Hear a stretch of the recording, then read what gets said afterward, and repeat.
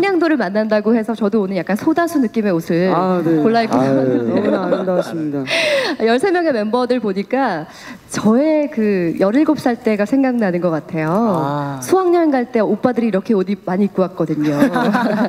자, 오늘 앨범에 대한 이야기 하나하나 좀 나눠보도록 하겠습니다.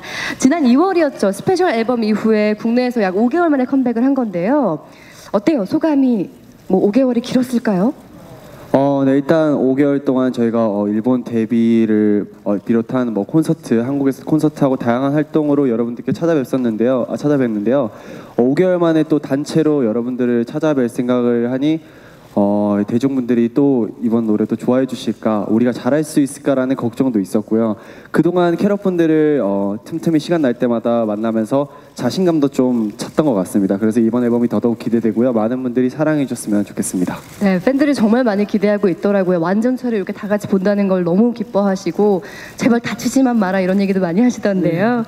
그동안 어떻게 지내셨어요? 근황 좀 알려주세요. 네, 호시입니다. 어, 일단 고맙다 앨범이 끝난 후로 어, 일본 콘서트도 하고 부석순 유닛 활동도 하고 일본 데뷔도 하고 한국 콘서트도 하고 그러면서 앨범 준비를 이렇게 했는데요. 어, 정말 올해도 참 복 받았습니다. 정말 알차게 활동했던 것 같습니다. 앞으로도 정말 알찬 활동 하도록 하겠습니다. 네. 감사합니다. 네. 아, 호시 씨 얘기가 누가 보면 올해가 끝난 줄 알았는데 아직 이제 상반기가 끝, 시작이죠. 네, 네. 이제 상반기가 끝났거든요. 네, 올해 상반기가 네, 알찼다는 상반기를. 아주 네네. 네, 알차게 했고요. 그렇습니다. 하반기도 또 열심히 달려가야 할 텐데요. 이번 앨범 타이틀이 You Make My Day예요. 어떤 의미인지 궁금합니다. 자, 어떤 곡이 또 담겨 있는지 소개해 주셔도 좋을 것 같고요. 네, 네. 네, 어, 하나. 우선 You Make My Day의 뜻은 넌 나에게 좋은 날을 만들어 준다. 또는 넌 내게 어, 기분 좋은 낮을 선사해 준다.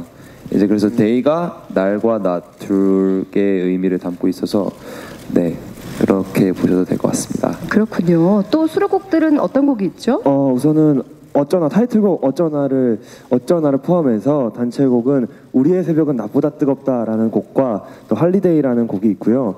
그다음에 이번 앨범에도 마찬가지로 세븐틴의 가장 장점이자 어, 포인트인 세 유닛의 노래도 들어가 있습니다. 어, 힙합 팀의 What's Good이라는 노래와 퍼포먼스 팀의